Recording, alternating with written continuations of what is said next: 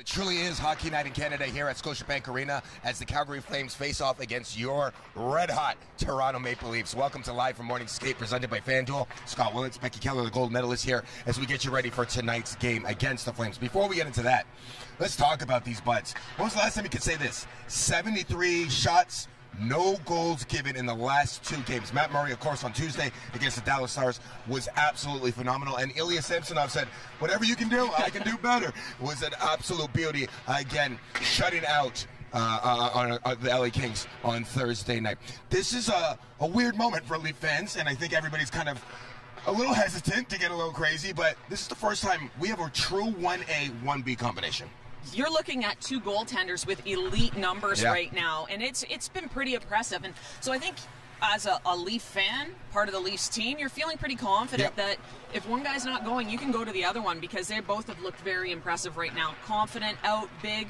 strong. Um, you know, the team's playing confidently in front of them. And I think part of what we're seeing is the D are playing so well in front of the goalies, Yep. making their jobs a little bit easier. The forwards are coming back, putting pressure from behind, making the D job a little bit easier. And so you're seeing sort of this total team effort in front of two goaltenders who are playing outstanding. You know what's awesome? It, it, it both looks like they both want to be the number one. They both want the crease, but they also seem like they have a really good kind of connection. That knowing that, hey, listen, if you're down, I got you, and I'll pick you up. So it's great to see. Uh, Matt Murray. A lot of people say that athletes block out what they hear in the media. I have a weird feeling that Matt Murray wanted to prove the media wrong when people said that he's injury prone. I think that he is proving right now, as he gets the crease and he gets the uh, start tonight, that he wants to let everybody know that he's here and he's not going anywhere, and he wants to prove that he can be that true number one. It's interesting Yeah. the mental makeup of any athlete, and some of them may want to block out what they read. Some of them, or read or hear, some of them may want to use it as fuel. And you're right, you do get that sense from Matt Murray that he has taken what has been said about him, him past performances and injuries, and he wants to prove the media wrong. And, and you can see it in the confidence that he brings when he's in front of the media, and you can see it in the confidence he brings when he's in the crease. Uh, okay, so I got really nervous, Becky. Uh, we did Gate 5 Live as we always do right here at Scotiabank Arena before the game. And you know, they always say the commentators curse. And I said, the only thing better than 20 points is 21 points in a row. And as soon as I said that, everybody in Scotiabank Arena kind of gasped.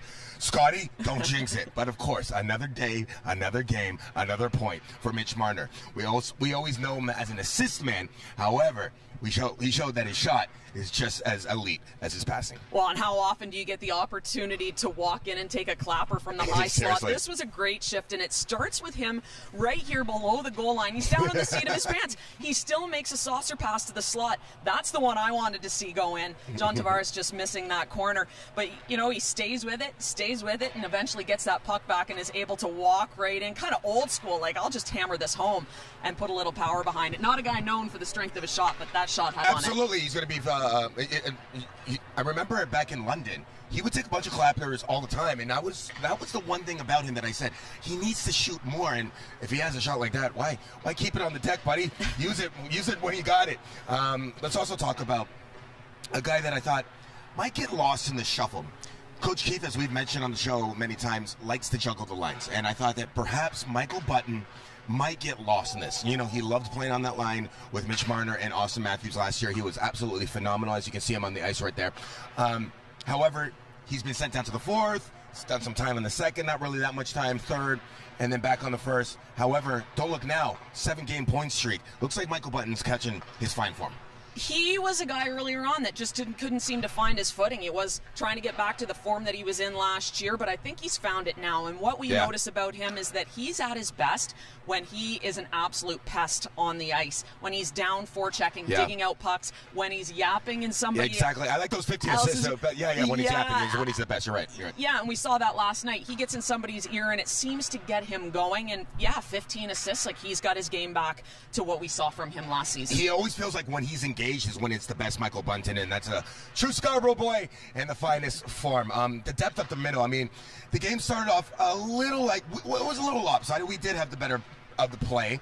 William Nylander had four four chances. I thought I was going to win that fan duel first goal, but um, does it count third goal? Yeah, third goal. I know, just two goals too late. Uh, we'll get into that in just a second. But the second period showed the depth up front, just a flurry. And David Kampf, Pierre Engvall, who will be out for tonight's game, he's suspended. But you could see Zach Aston-Reese, Alex Kerfoot, Pontus Holmberg. They all just look like solid NHL ready players. Well, it was a four-line performance. Yeah, it was. Absolutely, last game. And hey, how about Engvall getting a power play goal? Didn't even know we had a second unit, but there he is putting one in. I like that. You know, and, and David Kampf joining in. Those those were the first two goals. Unfortunately, you or I did not take either of those guys. But yeah, solid four-line performance. 60. Everyone was rolling last game. Uh, it was a tough interference call, and uh, our, our hearts go out to Nick Robertson. It, it, was it sucks because he seemed like he was just getting going.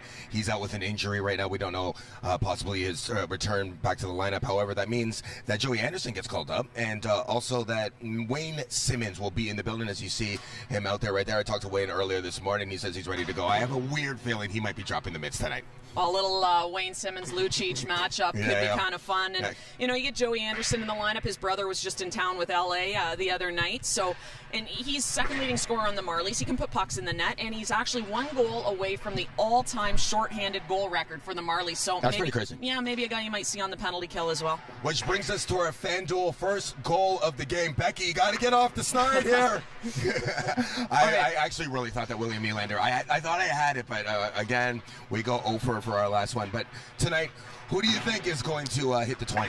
All right, so I took Mitch Marner. I haven't wanted to even say his name during this point streak. I'm like you. I'm a little superstitious. All former pre- present Yeah. hockey players Yep. tend to be, but I'm going to take him tonight. Now, I went to a new source for a little help. Okay, I, I was going to my kids, and they were not really. I fired them. They weren't doing well at all. So I went to the Magic Eight Ball. Will Mitch Marner score the first goal? It said absolutely. So I'm going Mitch Marner tonight. Uh, as David Puddy says, when in doubt, ask the eight ball. I absolutely love it. I'm going with Michael Bunting because he's playing the best hockey uh, so far this season. Uh, right now, um, he seems like he's just fiery. He, he, he sees that everybody is contributing, and I know that he's sitting there going, "I need to get off the snide here." Uh, as we mentioned, 15 assists. He needs. He, he wants more goals. You know that. I can see that. So Michael Bunting is my pick tonight. As we transition into the Calgary Flames, man. You want to talk about an off season? I got to give massive credit to Jim Treliving. Like there was a time where it looked like he was going to get fired out of Calgary, let alone turn this team around. Of course, Jonathan Huberdeau, Nazem Kadri, the Stanley Cup winner, two massive. Uh, um, People that have joined the club after, of course, losing Johnny Gaudreau and Matthew Tkachuk. What are you uh, expecting to see Calgary? A team that started hot, then had a brutal slump, and now is playing kind of that 500 hockey.